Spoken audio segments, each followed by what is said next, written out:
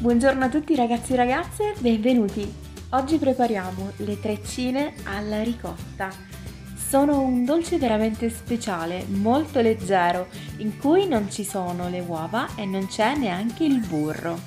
Sono a metà tra brioche e biscotti e sono fantastiche.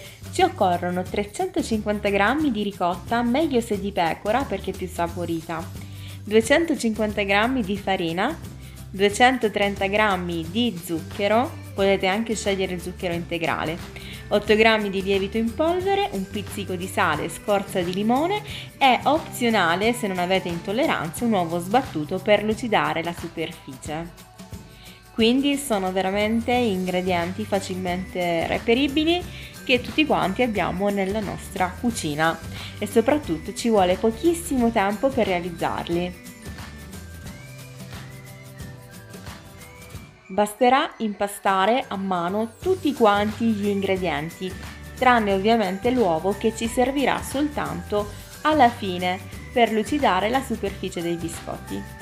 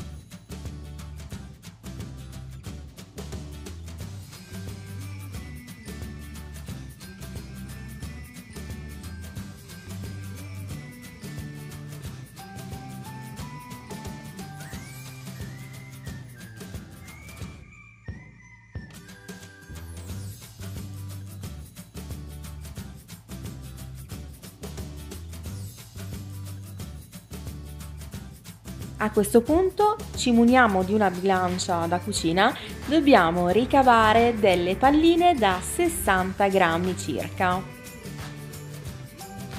Se non avete una bilancia cercate di farlo un pochino ad occhio.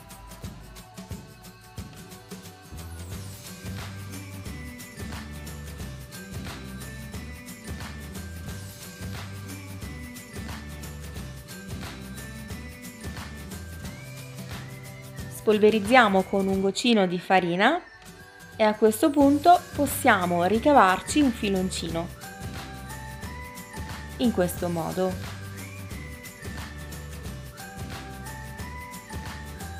E semplicemente lo andiamo ad intrecciare. Procediamo così per tutti i nostri pezzetti di impasto.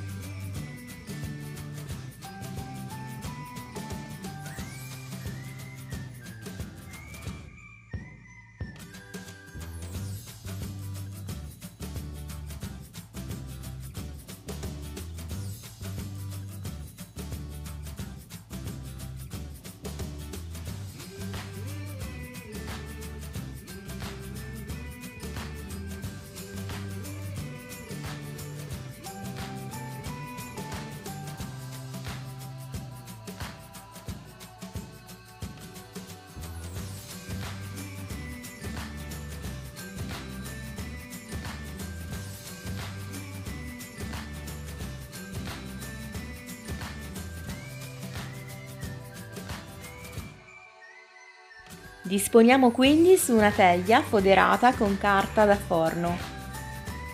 Se non siete intolleranti all'uovo, lo spennelliamo sulla superficie abbondantemente.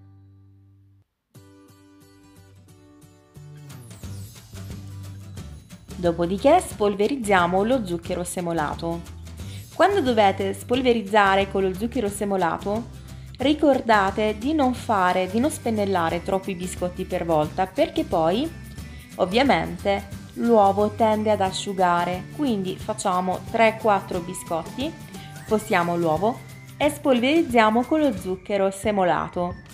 Volendo potete utilizzare anche lo zucchero integrale di canna. In questo modo lo zucchero si attaccherà bene sulla superficie.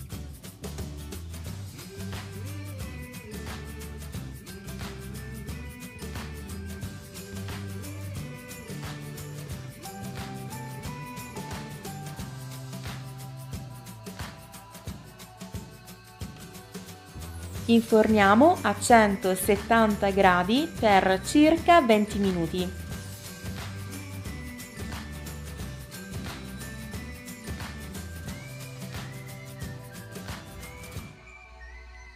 Ed eccole qua le nostre treccine alla ricotta sono pronte per essere gustate. Possono essere mangiate così calde oppure fredde. Addirittura possiamo anche congelarle, tirarle fuori la sera prima e mangiarle la mattina per colazione. Se questo video vi è piaciuto mi raccomando ricordate di sostenere il mio canale con un like, con un commento se non siete iscritti iscrivetevi e condividete questo video con tutti i vostri amici. Bene, io vi mando un bacione, ci vediamo presto nella prossima video ricetta, ma prima vi lascio qualche immagine relativa ai video precedenti che ho già postato e che quindi trovate nella mia sezione video.